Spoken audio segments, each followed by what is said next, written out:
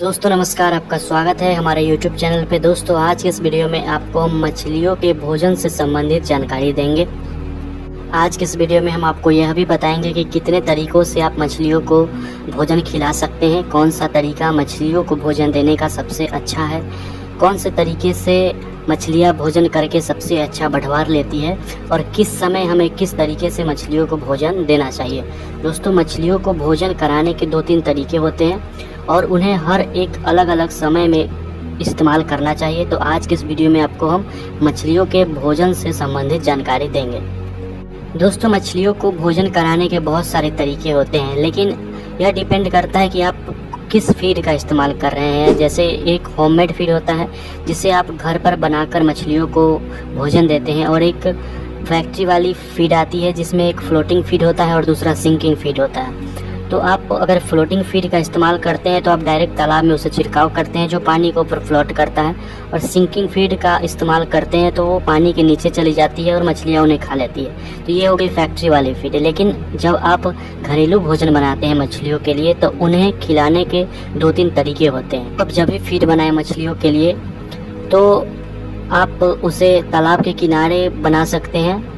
Homemade feed की हम बात कर रहे हैं, जिसमें राइस ब्रांड सरसों की खली, गुड़ और मिनरल मिक्सचर, ये सब मिलाकर जो आप फ़ीड बनाते हैं, वो तालाब के किनारे भी आप बना सकते हैं। यह एक पहला तरीका है और यह आप ड्रम में बना सकते हैं। तो ये बनाने का तरीका है कि आप कहाँ बनाएँगे।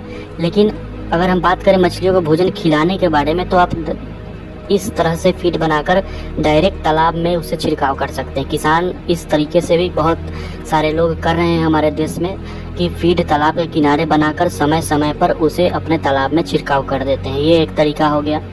दोस्तों, इस तरीके में क्या है कि पूरे तरह से मछलियाँ इन फ़ीड को नहीं खाती है। जब भी आप सरसों की खली का छिड़काव करेंगे, वो तो तालाब में मिक्स हो जाएगी तालाब के पानी में। लेकिन उसमें अगर आप मकई का दर्रा मिलाए हैं या गेहूँ का, या चावल का, या राइस ब्रान ये सब जो भी चीज़ें होंगी, वो नीचे जाकर तली में बैठ जाती है। तो यह एक तरीका है मछलियों को भोजन देने का, जिसमें बहुत अधिक मछलियाँ पूरी तरह से भोजन नहीं कर पाती है। यानी कि जितना मछली को चाहिए, उतना भोजन वो नहीं करती है, डायरेक्ट तालाब में छिड़काव करने से। दोस्तों, यह हो गया पहला तरीका जिससे किसान भाई मछलियों को भोजन देते हैं। बहुत अधिक मात्रा में किसान ऐसे ही भोजन देते हैं, तालाब के आसपास भोजन बनाकर और समय समय पर उसे तालाब में छिड़काव कर देते हैं। दोस्तों, दूसरा तरीका होता है, आप भोजन बनाकर उसे बैग फीडिंग करा सकते हैं। जैसे कि ठंडी के दिनों में बहुत सारे किसान भाई क्या करते हैं कि बैग फीडिंग कराते हैं। बैग फीडिंग को डिमांड फीडिंग भी कहा जाता है जब भी आप बैग फीडिंग कराते हैं तो मछलियों को जितनी ज़रूरत होती है, मछलियाँ उतनी भोजन करती है। आप किसी भी रस्सी से बाँध कर किसी बोरी में लटका देते हैं, तालाब के बीचों बीच या तालाब के साइड साइड में तो मछलियों को जितना भोजन करना होता है, मछलियाँ उतनी भोजन करती रहती है, अपने ज़रूरत के अनुसार। इसमें क्या होता है कि भोजन बहुत ही अच्छे से मछलियाँ खाती है, और भोजन का बर्बादी भी नहीं होता है, भोजन बर्बाद नहीं होता है। दोस्तों, ये हो गया दूसरा तरीका मछलियों को भोजन खिलाने का बैग फिटिंग पहला तरीका छिड़काव करके बहुत सारे लोग खिलाते हैं। दूसरा तरीका है जो ठंडी में बहुत सारे किसान भाई करते हैं, गर्मी में भी कर सकते हैं, गर्मी में भी खिला सकते हैं। बैग फीडिंग एक बहुत ही अच्छा माध्यम।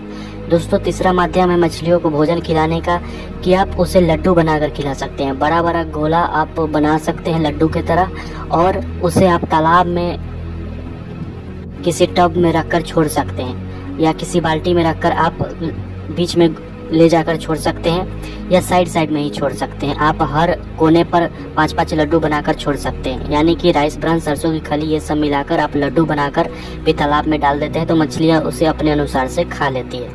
दोस्तों, ये सब कुछ तरीके हुए मछलियों को भोजन खिलाने का। अगर आप फ्लोटिंग फ़ीड का इस्तेमाल करते हैं तो आप जैसे खिला रहे हैं, वैसे ही खिलाएँ।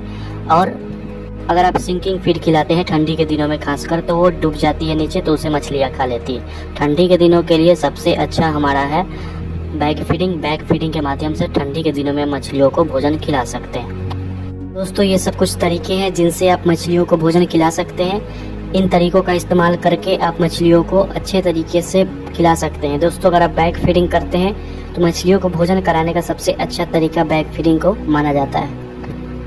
दोस्तों, आशा करते हैं एक छोटी सी जानकारी। मछलियों को भोजन खिलाने के तरीकों के बारे में यह जानकारी आपको अच्छी लगी होगी। चैनल को सब्सक्राइब कर लीजिए और वीडियो को लाइक कर दीजिए।